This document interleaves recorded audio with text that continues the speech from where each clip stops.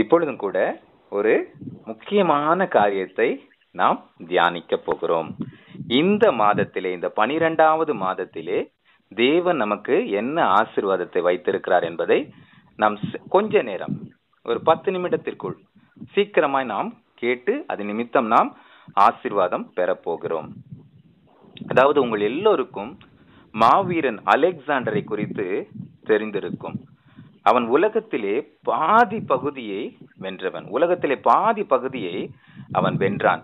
ஆனாலும் பாருங்க ஒரு படையெடுப்பு போயிட்டு திரும்பி வருகிறான். அப்போ திடீரென்று அவனுக்கு காய்ச்சல் ஏற்படுகிறது. அப்ப பத்தே நாளிலே அவன் மறித்து போகிறான். உலகத்தின் பாதியை பிடித்தவன். இன்னும் கொஞ்ச நாள் இருந்திருந்தானா? உலகத்தையே பிடிச்சிருப்பான். ஆனா அவன் மரணம் அடைவதற்கு முன்பதாக என்ன தெரியுமா சொல்லியிருந்தானா தன்னுடைய சவப்பெட்டிய தலை சிறந்த மருத்துவர்கள் தலை சிறந்த மருத்துவர்கள் தான் என்னுடைய சவப்பெட்டியை சுமக்க வேண்டும். அது மாத்திரம் இல்லை தன்னுடைய இரண்டு கைகளையும் வெளியே தொங்க விடணும் அப்படின்னு சொல்லியிருந்தான். அது மாத்திரமல்ல சாலை முழுவதும் வெள்ளியையும் பொன் கற்களையும் வெள்ளி பொல் கற்களை எல்லாம் வந்து என்ன பண்ணனா அவன் அந்த அந்த சவப்பெட்டி போற இடத்துல எல்லாம் அதை போடும்படி சொன்னானா. அது மாத்திரமல்ல அவன் கல்லறையில எழுத சொன்னானா. என்ன எழுத சொன்னானா தெரியுமா? இதோ இந்த கல்லறையில் உறங்குகிறவன் உலகத்தையே வென்றவன் தான் ஆனால் அவன் இந்த உலகத்தை விட்டு போகும்போது வெறும் கையோடு தான் செல்கிறான். அப்படின்னு சொல்லி ஒரு வாசகத்தை பொறிக்கும்படி சொன்னானா பாருங்க உலகத்தையே வென்ற அந்த மனிதனுடைய முடிவு அற்பமாய் முடிந்தது. அற்பமாய் முடிந்தது. ஒன்றுமில்லாமல் வெறும் கைகளோடு அதாவது என்னை எந்த பணமும் காப்பாத்தல எந்த மருத்துவமும் காப்பாத்தல. நான் ஒன்றுமில்லாமல் இந்த உலகத்தையே வென்ற நான் ஒன்றுமில்லாமல் என்னுடைய முடிவு அற்பமாக முடிந்தது என்று சொல்லிவிட்டு அவன் மறித்தான் ஆனா வேதத்துல ஒரு வார்த்தை கூறப்பட்டிருக்கிறது. அது என்ன வார்த்தைன்னா பாருங்க யோபு எட்டு ஏழுல யோபு என்ற ஒரு பகுதியில அதுல எட்டு ஏழு அதுல உம்முடைய துவக்கம் அற்பமா இருந்தாலும் முடிவு சம்பூரணமா இருக்கும் நம்ம ஆண்டவர் என்ன சொல்றாரு? துவக்கம் அற்பமா இருந்தாலும் உன்னுடைய முடிவு சம்பூரணமாயிருக்கும். சம்பூரணமாயிருக்கும். இருக்கும் செழிப்பா இருக்கும் ஒருவேளை ஒவ்வொருவரும் எல்லாம் திரும்பி பார்த்தீங்கன்னா இந்த வருடத்தை நாம அற்பமாய் தான் ஆரம்பித்தோம். அழுகையோடு ஆரம்பித்தோம். பயத்தோடு ஆரம்பித்தோம். இன்னும் கலக்கங்களோடு நாம் ஆரம்பித்தோம்.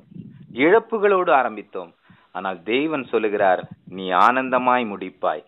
நீ செழிப்போடு முடிப்பாய். நீ பயத்தோடு அல்ல ஜெயத்தோடு முடிப்பாய் என்று சொல்லுகிறார். நிச்சயமாக அப்படியே செய்வார். ஏனென்றால் நம்முடைய தேவன் எப்படிப்பட்டவர்னா எல்லாவற்றையும் அழகாய் செய்து முடிக்கிறவராம். வேதத்துல சொல்லுகிற சொல்லப்பட்டிருக்கிறது அவர் அதினதின் காலத்திலே எல்லாவற்றையும் அழகாய் செய்து முடித்திருக்கிறாராம். அதனால நிச்சயமா நமக்கு ஒரு நல்ல முடிவை கொடுக்க போகிறார். இதை கேட்டுக்கொண்டிருக்கிற ஒவ்வொருவருக்கும் ஆண்டவர் ஒரு நல்ல முடிவை இந்த மாதத்திலே கொடுக்க போகிறார். ஒரு ஜெயத்தை கொடுக்க போகிறார். ஒரு ஆனந்தத்தை கொடுக்க போகிறார். ஒரு செழிப்பை கொடுக்க போகிறார்.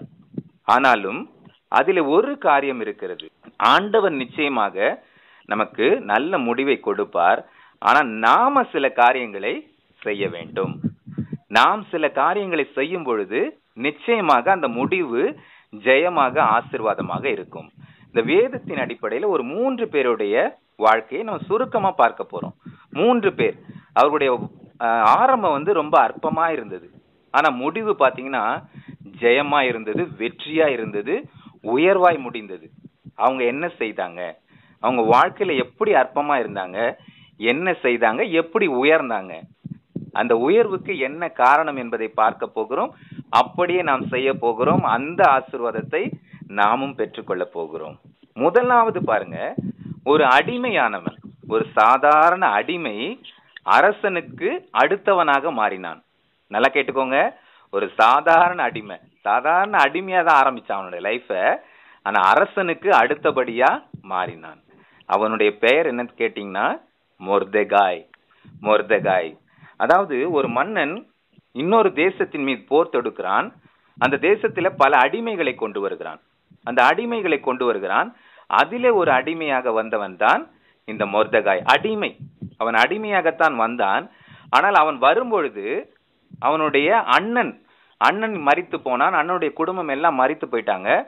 அவனுடைய மகள் ஒருத்தி இருந்தா. அந்த மகளை கையோட கூட்டிட்டு வந்திருந்தான். அதாவது இவன் தான் அந்த மகளை வளர்த்து கொண்டு இருந்தான். அப்ப பாருங்க தேசத்துல அந்த ராஜாக்கு ராஜாக்கு ஒரு வாழ்க்கை துணைவி அதாவது ராணி தேவைப்பட்டது. அப்ப அந்த ராஜா ஒரு கட்டளையை போட்டான். இந்த தேசத்துல இருக்கிற அழகான பெண்கள்ல ஒரு பெண்ணை நான் செலக்ட் பண்ண போறேன் அப்படின்னு சொல்லிட்டு. அப்ப இவனுக்கு ஒரு ஆசை. இவனுக்கு என்ன ஆசைன்னா அந்த செலக்ட் பண்ண போற பொண்ணு என்னுடைய மகளா என்னுடைய அண்ணனுடைய மகளாக இருக்க வேண்டும் என்று சொல்லி அவன் ஆசைப்படுகிறான். அதே மாதிரி என்ன பண்றான்? அந்த குரூப்ல இவளையும் கொண்டு போய் சேர்க்கிறான். அப்ப சேர்த்த பிறகு என்ன பண்றான் பாத்தீங்கன்னா அவ எப்படி நடந்து கொள்ள வேண்டும் என்ன செய்யணும் எல்லாவற்றையும் அவனுக்கு அவளுக்கு அவன் கற்று தருகிறான் கற்று தருகிறான் பாருங்க அவனுடைய வழி நடத்துதலின்படி அவள் நடந்ததால் அவள் ராணியாக தெரிந்தெடுக்கப்படுகிறாள். ராணியாக தெரிந்தெடுக்கப்படுகிறாள். அது நிமித்தம் பாருங்க அவன் ராஜாவுக்கு அடுத்தபடியாக உயர்த்தப்பட்டான். அந்த அந்த வரலாற்றில் நீங்க கடைசியாக பார்க்கும் பொழுது வேதத்திலே போடப்பட்டிருக்கிறது அவன் ராஜாவுக்கு இரண்டாவதாக உயர்ந்தான் என்று. பாருங்க ஒரு அடிமை சாதாரண அடிமை எப்படி ராஜாவுக்கு அடுத்தபடியாக உயர்ந்தான்? ஒரே ஒரு காரியம். அவனிடத்திலே கொடுக்கப்பட்ட கடமையை அவன் உண்மையும் உத்தமமாக செய்தான். கொடுக்கப்பட்ட கடமையை தன்னிடம் கொடுத்த அந்த மகளை சரியாக வளர்த்தான். சரியான ஒரு இடத்திலே கொண்டு போய் சேர்த்தான். அவளை அரசியாக உயர்வு உயர்வதற்கு அவன் பொறுப்பெடுத்து கொண்டான். அதில் அவன் கண்ணும் கருத்துமா இருந்தான் தேவன் அதைத்தான் விரும்புகிறார். தேவன் அதைத்தான் ஒவ்வொரு இடத்திலும் விரும்புகிறார். பாருங்க இந்த உலகத்துல ஒவ்வொருவருக்கும் தேவன் ஒரு பொறுப்பை கொடுத்திருக்கிறார் ஒரு வேலையை கொடுத்திருக்கிறார் ஒரு தொழிலை கொடுத்திருக்கிறார் ஒரு வியாபாரத்தை கொடுத்திருக்கிறார் ஒரு குடும்பத்தை கொடுத்திருக்கிறார் ஒரு கணவனை கொடுத்திருக்கிறார் மனைவியை கொடுத்திருக்கிறார் பிள்ளைகளை கொடுத்திருக்கிறார்.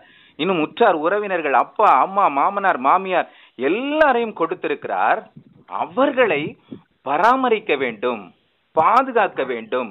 ஒரு வேலையில் உங்களுக்கு கொடுக்கப்பட்ட பொறுப்பை நீங்கள் சரியாக செய்ய வேண்டும் நேர்த்தியாக முடிக்க வேண்டும் உண்மையும் உத்தமமாக நீங்கள் செயல்பட வேண்டும்.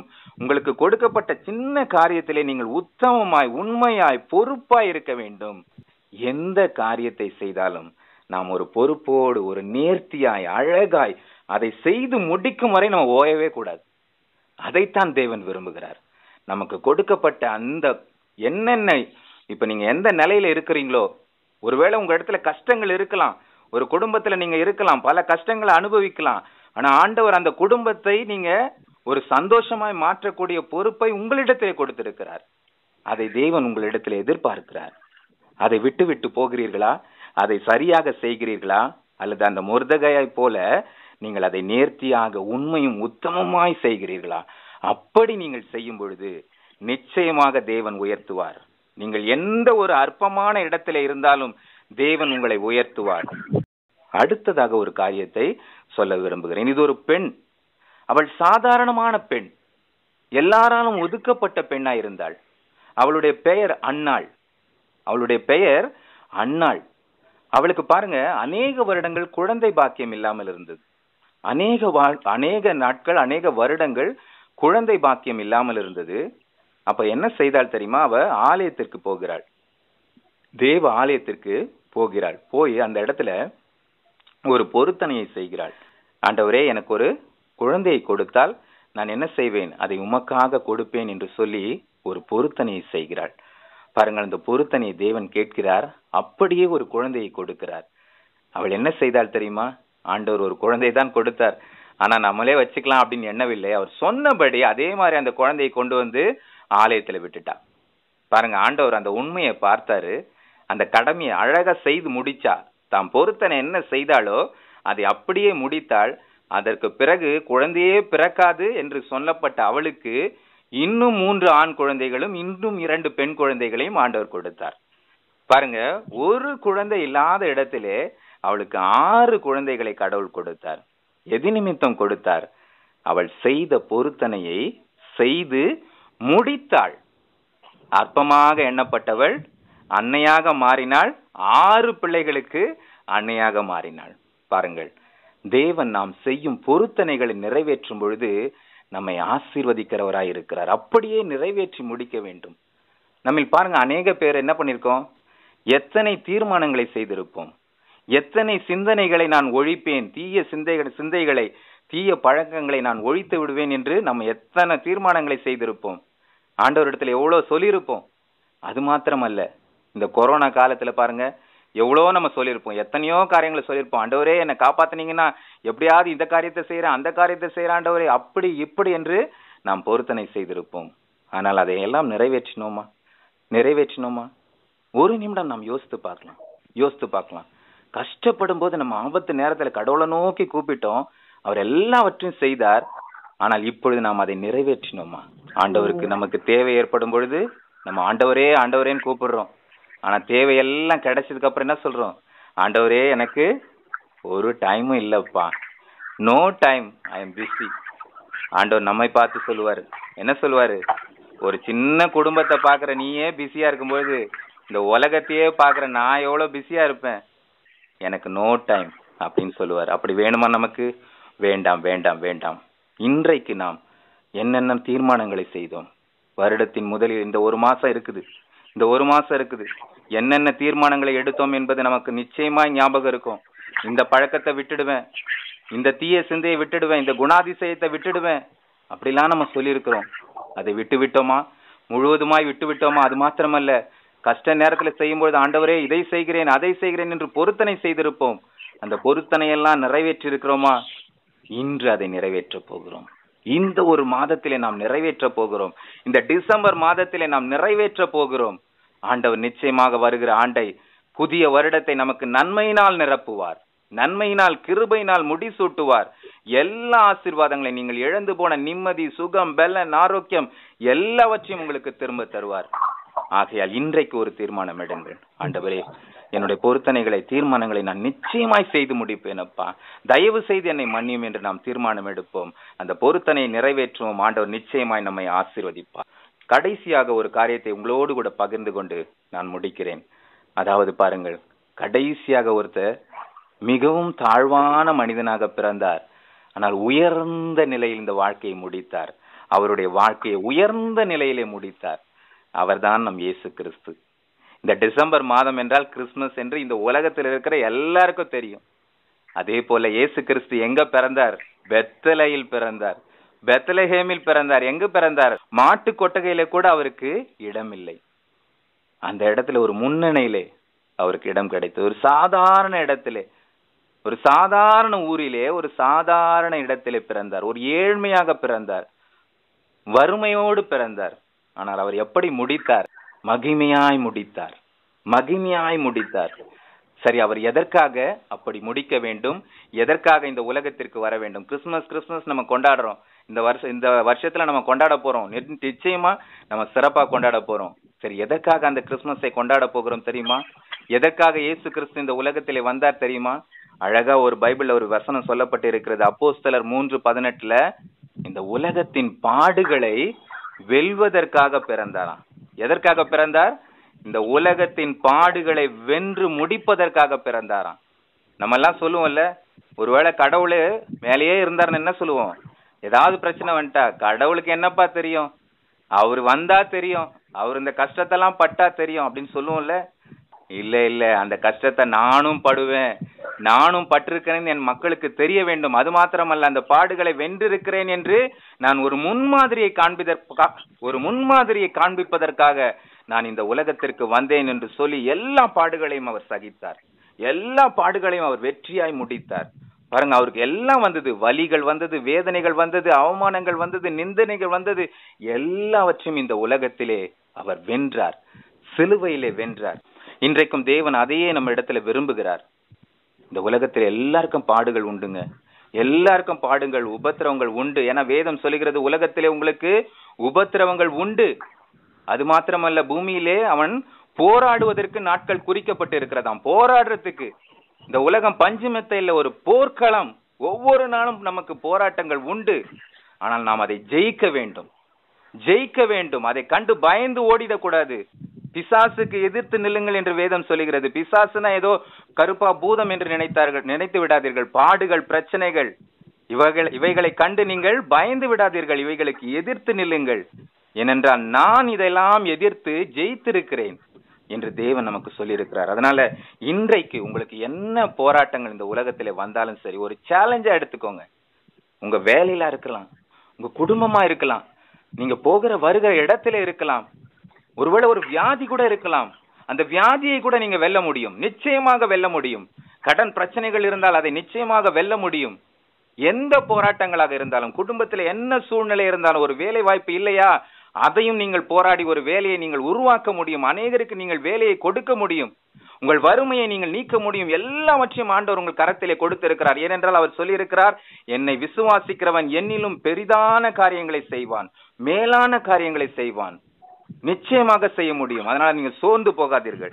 சோர்ந்து போகாதீர்கள். இந்த பதினோரு மாதங்கள் நீங்கள் எத்தனை போராட்டங்களை சகித்திருக்கிறீர்கள் வென்றிருக்கிறீர்கள் அதையெல்லாம் நீங்கள் எண்ணி பாருங்கள். அந்த போராட்டங்களை சகித்த நீங்கள் எந்த போராட்டம் வந்தாலும் நீங்கள் நிச்சயமாக வெல்ல முடியும்.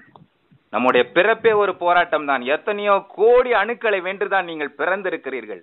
அதை மறந்து விடாதீர்கள். உங்களால் வெல்ல முடியும். அதற்காகத்தான் இயேசு கிறிஸ்து இந்த உலகத்திலே பிறந்தார். அதற்காகத்தான் நாங்கள் கிறிஸ்துமஸை கொண்டாடி கொண்டிருக்கிறார்கள் எல்லோரும். நீங்கள் கிறிஸ்துமஸை நினைக்கும் பொழுது ஒரு காரியத்தை நினைக்க வேண்டும். இயேசு பிறப்பை நீங்கள் நினைக்கும் பொழுது ஒரு காரியத்தை நினைக்க வேண்டும். என்னால் இந்த உலகத்தை வெல்ல முடியும். நான் தோற்க மாட்டேன். நான் தோற்க மாட்டேன். எந்த தோல்வி இருந்தாலும் நான் மீண்டும் மீண்டும் எழ முடியும். நான் ஏழு தரம் விழுந்தாலும் மீண்டும் எழுந்திருப்பேன். நான் விழுந்தாலும் எழுந்திருப்பேன். நிச்சயமாக என்னால் ஜெயிக்க முடியும். இந்த உலகத்திலே நான் சாதிக்க முடியும் என்று இயேசு கிறிஸ்துவை பார்த்து நீங்கள் கற்றுக்கொள்ளுங்கள். அதற்காகத்தான் இந்த உலகத்திலே அவர் பிறந்தார். இன்றைக்கு ஒரு தீர்மானம் எடுப்பீர்களா? இன்றைக்கு ஒரு தீர்மானம் எடுப்பீர்களா?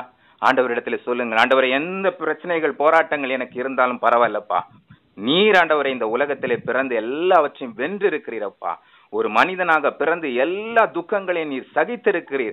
அவமானங்களை நிந்தைகளை ஆண்டவரை சிலுவையிலே நீர் சகித்திருக்கிறீரப்பா அதே போல நாங்களும் சகித்து ஆண்டவரை இந்த உலகத்திலே எல்லாவற்றையும் வெல்ல வேண்டும் அப்பா.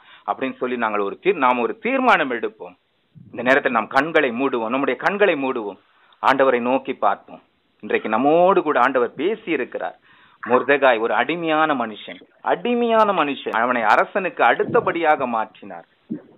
ஒரே ஒரே காரணம். கொடுக்கப்பட்ட பொறுப்பை அவன் உண்மையும் உத்தமமாக செய்தான். உங்கள் கைகளில் எந்த பொறுப்பை கொடுத்தாலும் அதை உண்மையும் உத்தமமாக செய்யுங்கள். அது மாத்திரமல்ல அந்த அன்னாள் பொருத்தனை நிறைவேற்றினாள். பொருத்தனை நிறைவேற்றினாள். ஒரு குழந்தை இல்லாத அவளுக்கு ஆறு குழந்தைகளை தேவன் கொடுத்தார். நிச்சயமாக நீங்கள் பொருத்தனைகளை நிறைவேற்றும் பொழுது என்ன குறைவுகள் இருக்கிறதோ அந்த குறைவுகளை எல்லாவற்றையும் ஆண்டவர் இந்த வருடம் முடிவதற்குள் நிறைவாக்குவார். அது மாத்திரமல்ல நீங்கள் எந்த போராட்டங்களின் நடுவே நீங்கள் நடந்திருந்தாலும் சரி நடந்து கொண்டிருந்தாலும் சரி நீங்கள் பயப்படாதீர்கள். நமக்கு முன்னே இயேசு கிறிஸ்து இந்த உலகத்திலே தேவன் மனிதனாக இந்த உலகத்திலே பிறந்து எல்லாவற்றையும் வென்றிருக்கிறார். அவர் சொல்கிறார் நான் உலகத்தை ஜெயித்தேன் நீயும் ஜெயிக்க முடியும். நீ சோர்ந்து போகாதே. எந்த சூழ்நிலையில் இருந்தாலும் நீ வெல்ல முடியும் என்று சொல்லுகிறார் இப்பொழுது ஜெபிப்போமா? அன்புள்ள ஆண்டவரே இந்த நேரத்தில் எங்களோடு கூட பேசி இருக்கிறீரப்பா பேசி இருக்கிறீரப்பா எங்கள்கிட்ட ஆண்டவரே எங்களிடத்துல கொடுக்கப்பட்ட ஒவ்வொரு ஆண்டவரை பொறுப்பையும் நாங்கள் ஆண்டவரே உண்மையும் முத்தவுமாய் முடிக்க எங்களுக்கு பலன் தாங்கப்பா. பலன் தாங்கப்பா பலன் தாங்கப்பா. அதே போல ஆண்டவரே நாங்கள் எந்த பொருத்தனைகளை மறந்தோம் என்பதை ஆண்டவரே எங்களுக்கு நினைவுபடுத்தும் அப்பா நினைவுபடுத்தும் அப்பா அந்த பொருத்தனைகளை நாங்கள் நிறைவேற்ற எங்களுக்கு உதவி செய்யுங்கப்பா. உதவி செய்யும் அப்பா அது மாத்திரமல்ல ஆண்டவரே இந்த உலகத்திலே எந்த பாடுகள் இருந்தாலும் நான் ஜெயிப்பேன் அப்பா என் வாயை திறந்து நான் சொல்லுவேன். எப்பேற்பட்ட ஆண்டவரே போராட்டமாக இருந்தாலும் என்னால் ஜெயிக்க முடியும் அப்பா வருகிற புதிய வருடம் எனக்கு எல்லாவற்றிலும் ஜெயம். நான் ஒன்றிலும் தோற்க போவதில்லை ஆண்டவரே. நீ நிச்சயமாக எனக்கு உதவி செய்ய போகிறீர். அன்புள்ள ஆண்டவரே இந்த நேரத்திலும் அப்பா இந்த ஆண்டவரே இந்த செய்தியை கேட்டுக்கொண்டிருக்கிற ஒவ்வொருவரையும் நீர் ஆசீர்வதிங்கப்பா ஆசீர்வதிங்கப்பா. ஆண்டவரே அவருடைய துவக்கம் அற்பமா இருந்தாலும் முடிவு சம்பூரணமா இருக்கட்டும் ஆசீர்வாதமா இருக்கட்டும் ஆனந்தமா இருக்கட்டும் ஜெயமா இருக்கட்டும் கழிப்பா இருக்கட்டும் அப்பா நீர் அப்படியே செய்ய போகிறீரப்பா செய்ய போகிறீரப்பா இந்த கிறிஸ்துமஸ் மாதம் எங்களுக்கு சந்தோஷத்தின் மாதமாக இருக்க போகிறது. புதிய ஆண்டு எங்களுக்கு சந்தோஷமான மாதமாக சந்தோஷமான ஆண்டாக இருக்க போகிறதப்பா. அப்படியே நீ செய்ய போகிறீர். இந்த நேரத்திலும் யார் யார் ஆண்டவர் எந்த குறைகளோடு இருக்கிறார்களோ எல்லா குறைகளையும் நிவர்த்தி ஆக்கும் அப்பா சரீரத்திலே நல்ல சுகத்தையும் பலத்தையும் ஆரோக்கியத்தை தாரும் அப்பா குழந்தை பாக்கியம் இல்லாதவர்களுக்கு குழந்தையை தாரும் அப்பா திருமணம் கைகூடாதவர்களுக்கு திருமணத்தை நீ சீக்கிரத்திலே நடத்தி தாரும் அப்பா வேலை இல்லாதவர்களுக்கு வேலையை தாரும் அப்பா கடன் பிரச்சனைகளை நீக்கி போடும் அப்பா பொருளாதார தடைகளை எல்லாம் ஆண்டவரை நிவிர்த்தி ஆக்கும் அப்பா வியாபாரம் செழிக்கட்டும் தொழில் செழிக்கட்டும் வேலை செழிக்கட்டும் அப்பா அன்பும் ஐக்கியமும் குடும்பத்திலே இருக்கட்டும் அப்பா சமாதானம் பெருகட்டும் அப்பா ஒவ்வொருவரையும் நீர் ஆசீர்வதியும் அப்பா அப்பா ஆசீர்வதி. நீர் அப்படியே செய்ய போகிறீர். அதற்காக நன்றி செலுத்துகிறோம். இயேசுவின் மூலம் ஜெபம் கேட்கிறோம் பிதாவே. ஆமென் ஆமென். ஆமென் உம்முடைய துவக்கம் அற்பமாய் இருந்தாலும் முடிவு சம்பூரணமாயிருக்கும். யோபு எட்டு ஏழு. ஆமென். ஆமென்.